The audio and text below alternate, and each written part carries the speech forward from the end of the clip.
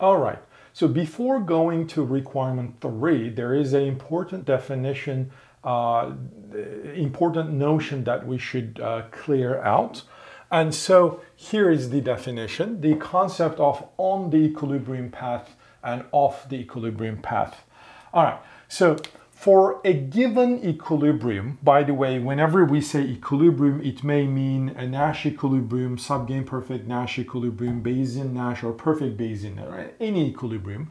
So for any given equilibrium uh, profile in a given extensive form game, an information set, all right, an information set is on the equilibrium path if it is, if it will be reached with a positive probability if the game is played according to the equilibrium strategies. All right? And it is called off the equilibrium path if it is certain, probability 1, not to be reached if the game is played according to the equilibrium strategies. All right? So I think it's very uh, straightforward and easy the description. Well, again, for the same example, I have one, two, three, four different examples. So let's suppose, I we didn't check them yet, but let's suppose these are equilibrium, all right? So uh, here, player one is gonna play left with one half probability and right with one half probability, so he's mixing. Player two is gonna play U and he holds a belief mu, I don't know what it is, but some belief.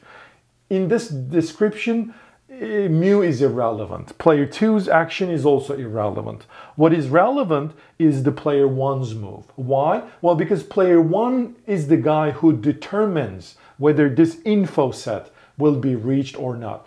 Remember, in this game, there are two info sets. The first info set is the initial info set. Obviously, the initial info set is not uh, I mean, you cannot say it is on the equilibrium path or off the equilibrium path, right? Because it is the initial uh, info set. So therefore, we are talking about uh, info sets other than the initial one. So here, basically, we're talking about the second player's information set. So for therefore, whether it is on or off the equilibrium path depends only on the first player's strategy, equilibrium strategy.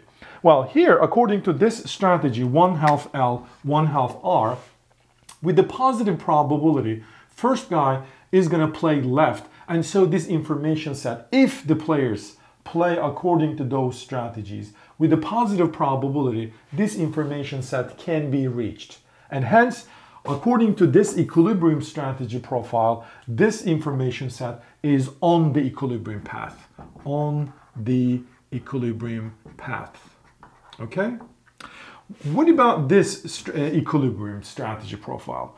Player 1 is supposed to play right with probability 1, and then player 2 plays U and belief system mu. Well, according to this equilibrium strategy profile, or forget about saying equilibrium, equilibrium, according to this strategy profile, player 1 is not supposed to play left or N. So therefore, the probability that this game will ever reach to this information set is zero. So therefore, this information set is off the equilibrium path. If this is the uh, equilibrium uh, strategy profile. According to this, player one is going to play left with probability one. Therefore, this is on the equilibrium path, on the equilibrium path. And finally, 3 over 4m, 1 over 4r. So that means, uh, according to this uh, equilibrium strategy profile, uh, this information set is also on the equilibrium path. Okay? So as simple as this. If, so not if, uh, let me take that back. So whether an information set is on or off the equilibrium path depends on the strategy profile. All right? And uh, so if you change the strategy profile, uh, you can you you change whether the information set is on or off the equilibrium path. All right.